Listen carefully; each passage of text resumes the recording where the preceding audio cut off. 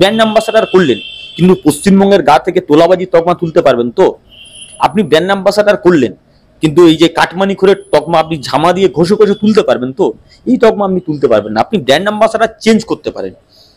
কিন্তু আপনি বেকার যুবকদের ভবিষ্যৎ চেঞ্জ করতে পারছেন না। এর চেয়ে বড় লজ্জা বড় ফেলিওর আর কিছু হতে পারে বলে আমরা মনে করছি বরঞ্চ যে পুলিশ খাকি পোশাক পরে তৃণমূলের দলদাসে পরিণত হয়েছে যারা তৃণমূলের ভয়ে টেবিলের তলায় লুকোয় আর গরিব মানুষ যখন আহ, তৃণমূলিয়াতে মার খেয়ে যখন পুলিশের কাছে এফআইআর লিখতে যায় তখন পুলিশ তাকে ধমকে জমকে লকাপে পুরে রাখে।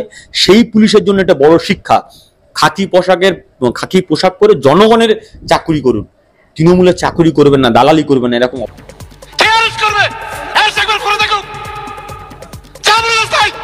আমার কলেজের একটা ঘটনা। রাত ভোর ওখানে লাল নীল জলের বোতলের ফোয়ারা উড়েছে আর মত্ত হয়ে, নেশা করে মত্ত হয়ে একদল ছেলে উচ্ছৃঙ্খল আচরণ করছিল। তো বাধ্য হয়ে পুলিশ গিয়ে বারণ করেছে, বাবা, একটু আস্তে ফাটা, একটু লাউড স্পিকার কমাও। সৌগত মূল্য সে ধমকেছে, চমকেছে। তো নতুন কোনো ঘটনা নয়। বাবু যত বলে, পারিষদ বলে তার শতগুণে। তো এ রাজ্যের তো মুখ্যমন্ত্রী নিজে তো ভবানীপুরে গিয়ে পুলিশকে ধমকে থানা থেকে ক্রিমিনালকে বের করে আনে। এ রাজ্যের মুখ্যমন্ত্রী তো আইএস আইপিএস অফিসারকে বলে, চাপকে লাল করে দেবো। তো সেই রাজ্যে তার ক্যাডার কি করবে? এর চেয়ে মানে এর চেয়ে ভদ্রতা বরঞ্চ তৃণমূলের কাছ থেকে আশা করা যায় না। তো মুখ্যমন্ত্রী নিয়ে বলেছে ওরে সৌকাত তুই তো শুধু বোম মারিস। তো এর চেয়ে বড় সার্টিফিকেট আর কি আছে? শওকত মোল্লা তাতে বরঞ্চ গর্ব হয়েছে যে, আমার সিএম আমাকে বলেছে আমি বোম মারি। তৃণমূলে যে যত বড় বোম মারতে পারে, যত বেশি চুরি করতে পারে, সে তত বড় নেতা হবে। স্বাভাবিক এটি বাংলায় শিল্প আনা সম্ভব, কিন্তু তৃণমূলের আমলে শিল্প আনা সম্ভব নয়। তার মূল কারণ হচ্ছে তোলাবাজি। তার মূল কারণ হচ্ছে কাটমানি টপ টু বটম তলা থেকে উপর পর্যন্ত শুধুমাত্র তোলাবাজার কাটমানিতে যে সরকারটা টিকে থাকে, সেই সরকারের সময় গঠনমূলক কোনো কাজ হতে পারে না। ক্ষুদ্র শিল্প কি?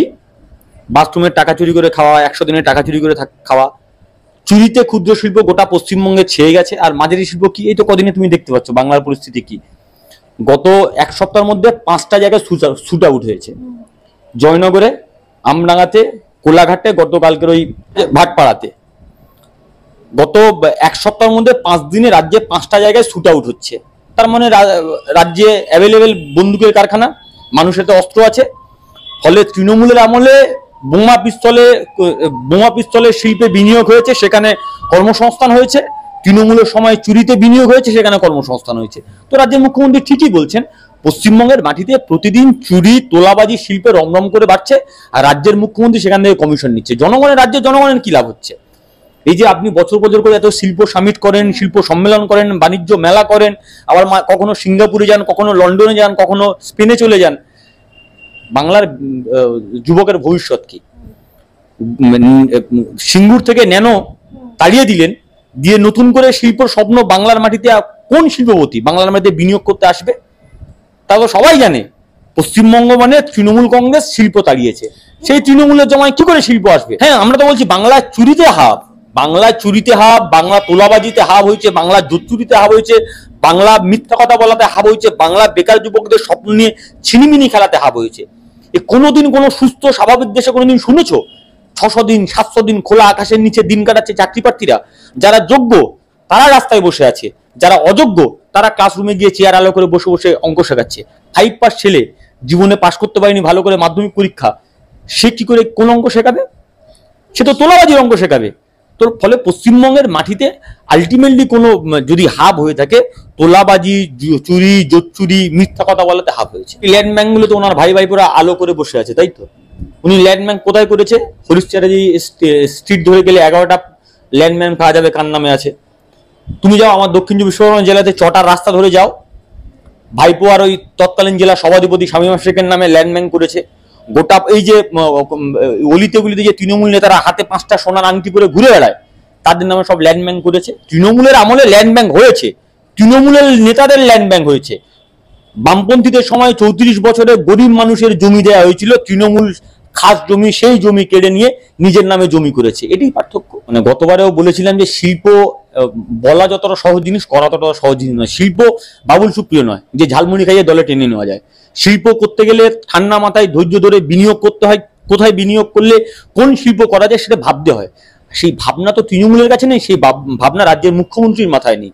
উং, উং- বং ছং, অং বং ছক বলে দুটো কবিতা লেখা যায়। শিল্প আনা যায় না। শিল্প আনতে গেলে ধৈর্য লাগে। শিল্প আনতে গেলে তার নীতি লাগে। সেই নীতি তো তৃণমূলের আমলে নেই। তৃণমূলের আমলে ফেলো করি মাকোটেল টাকা দিলে তুমি কাজ পাবে টাকা না দিলে তুমি কাজ পাবে না। যে টাকা দিচ্ছে সে তো প্রফিট দেখবে।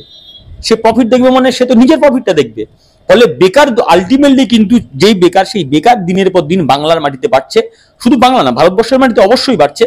এই বেকারদের স্বপ্ন পশ্চিমবঙ্গের মাটিতে চিরদিন অধরা থেকে যাচ্ছে। তাজপুর বন্দর কি অন্যতম উদাহরণ এই যে যেটা বললে যে দেখো প্রথম কথা হচ্ছে আমরা প্রথম থেকেই বলেছি রাজ্যের মুখ্যমন্ত্রী মিথ্যা কথা বলেন। এক বছর আগে উনি বললেন যে আদানি রাজপুরে গভীর সমুদ্র বন্দর করবে তোমরা মিডিয়া তোমরা মিডিয়াতে বড় বড় করে ব্রেকিং নিউজ আদানি বন্দর করবে, আদানি বন্দর করবে। আজকে হঠাৎ বলছে নতুন করে টেন্ডার দেওয়া হবে। কেন? আদানির সঙ্গে কি টাকা পয়সার ডিলিং নিয়ে রফা কোথাও সমস্যা হয়েছে? এই আদানিদের কাছে তো, আদানি আম্বানিদের কাছে তো গোটা রাজ্যটাকে বিক্রি করে দিচ্ছে। দেউচা পাচামি থেকে শুরু করে অযোধ্যা পাহাড়, জল, জমিন, জঙ্গল, প্রতিদিন বাংলার মাটির পরিবেশ, সবকিছু বিকিয়ে দেওয়ার চেষ্টা করা হচ্ছে। সেই আদানি এখন উনি বলছেন যে, না, নতুন করে টেন্ডার দেওয়া কেন? তাহলে এক বছর আগে দু হাজার বাইশে রাজ্যের মুখ্যমন্ত্রী মিথ্যা কথা বলেছিল, জলের আলোর মতো পরিষ্কার। এই যে প্রতি বছর বছর শিল্প সামিট করছে, আর তারপরে প্রেস কনফারেন্স করছে, অমুক কোম্পানি বলেছে এত হাজার কোটি টাকা বিনিয়োগ করবে তুমুক কোম্পানি বলেছে এত লক্ষ কোটি টাকা বিনিয়োগ করবে। তাহলে সেই বিনিয়োগের টাকাগুলো কোথায় গেল? রাজ্যের মুখ্যমন্ত্রী বলতে হবে। হয় বিনিয়োগ হয়েছে, বিনিয়োগ হওয়ার পর ওনার ভাই বোন- ভাই ভাইপোরা লুটে পুটে খেয়েছে, তাই টাকার কোনো হিসাব নেই। আর নয়, উনি মিথ্যা কথা বলেছিলেন, কোনো বিনিয়োগ হয়নি। দুটো মধ্যে যে কোনো একটা হবে। কোনটা হচ্ছে তোমরা খুঁজে বের করো। যদি শিল্প হয় তাহলে বাংলার বেকার যুবকরা চাকরি পাবে, কারখানা হবে, কোথায় বিনিয়োগ হয়েছে, কোথায় শিল্প হয়েছে দেখা একটা দেখান একটা দেখান। উনি যে বলেছেন তোমরা যারা আছো দু হাজার এগারো সালের পর থেকে অনেক শিল্প সামিট বেঙ্গল মিন্স বিজনেস হেনা তেনা নাম দিয়েছে। সপ্তম বিশ্ব বাণিজ্য সম্মেলন মানে উনি নানা রকম নাম দেন, যখন যেমন মনে হয় তখন দেন। কখনো বলেছিলেন বেঙ্গল মিন্স বিজনেস, কখনো বলেছিলেন শিল্প সামিট হেনা তেনা নাম দেন। শুধু নাম দেওয়া হয়েছে, শুধু গাল ভরা প্রতিশ্রুতি দেওয়া হয়েছে, আসলে বাস্তবের মাটিতে কোনোদিন পালন করা হয়নি। তাই তো বাংলার মাটিতে বেকার যুবকরা খোলা আকাশের নিচে দিন কাটতে হয়। তাই তো তাই তো পশ্চিমবঙ্গের মাটিতে বেকার যুবক চাকরির দাবিতে যখন আন্দোলন করে, এই মমতা ব্যানার্জির পুলিশ লাঠি পেটা করে মইদুল মির্জাকে খুন করে। তো এরকম হাজার হাজার কোটি কোটি টাকা বিনিয়োগ করবে বলেছিলেন। তাহলে সেগুলো কোথায় গেল? তাহলে সেই শিল্পপতিগুলো হয় মিডিয়ার সামনে বলেছেন যে, প্লিজ, আপনি আমাকে ছবি তুলে যান, একটা চা খেয়ে যান আর প্লিজ এটা মিথ্যা কথা বলে যান যে আপনি এত হাজার কোটি টাকা বিনিয়োগ করবেন। হতে পারে, আমার ধারণা শিল্পপতিরা এটাতে এগ্রি করে বলে আমার মনে হয় না। তাহলে উনি ওনার মতো করে প্রেস কনফারেন্স করে বলেছেন, কখনো আম্বানি বলেছেন তিন হাজার কোটি টাকা দেবে, তিরিশ হাজার কোটি টাকা দেবে। এর আগে তো বলেছিলেন উমুক কোম্পানি দেবে, তুমুক কোম্পানি দেবে। এই আমার বেঙ্গলে এত হাজার কোটি টাকার বিনিয়োগ আসছে। তাহলে সেই বিনিয়োগগুলো যাচ্ছে কোথায়? কোম্পানিগুলো যাচ্ছে কোথায়? দু বছর এক বছর আগে আদানি নাকি তাজপুরে বন্দর করবে, এখন আদানি বন্দর করছে না। আপনি এক বছর পরে হয়তো শুনতে পারবেন যে মুকেশ আম্বানি কোনো বিনিয়োগ করছে না। স্বাভাবিক তৃণমূলের এমন আমরা অতীতে প্রমাণ পেয়েছি আমরা তো এমনি বলছি না প্রমাণ পেয়েছি বলে বলছি। হ্যাঁ। দেখুন এর আগে আরাবুল ইসলাম শিক্ষিকার মুখে জগ ছুড়ে মেরেছিল তারপরে তার কিছু হয়নি। তৃণমূলে অনেক রথি মহারথী আচ্ছা তুমি বলো তো তৃণমূলে এখন কটা জেলে আছে তৃণমূল? আমি তো মাঝে মাঝে অঙ্ক ভুলে কটা জেলে আছে? আচ্ছা জ্যোতিপ্রিয় মল্লিককে কি তৃণমূল বহিষ্কার করেছে? পার্থ চ্যাটার্জি কি তৃণমূল বহিষ্কার করেছে? সাসপেন্ড করেছে ছ বছরের জন্য। বহিষ্কার তো করেনি। পার্থ চ্যাটার্জির মধ্যে চুরির গুরুতর অভিযোগ আছে, প্রমাণ পাওয়া গেছে, তারপরে তৃণমূল করছে ছ- বছরের জন্য সাসপেন্ড মানে ছ বছর তুমি কোনো রকমের টিকে টাকে থাকো, তারপর ফিরে এলে আবার তৃণমূল করতে পারবে। যে দল এত প্রমাণ পাওয়ার পরেও বহিষ্কার করার সাহস দেখায় না। আমি তো বললাম শৌকত মোল্লা বলেছে বরঞ্চ শৌকত মোল্লা প্রমোশন পাবে। এবং তৃণমূলের যে নেতারা করে, এইগুলো প্রমোশন পাওয়ার জন্যই করে। বোম মারো, কাটো, গলার হাত চুরি করো, গরিব মানুষের পায়খানার টাকা চুরি করো, আমফানের টাকা চুরি করো, টালি চুরি করো, এই রেশনের চাল চুরি করো।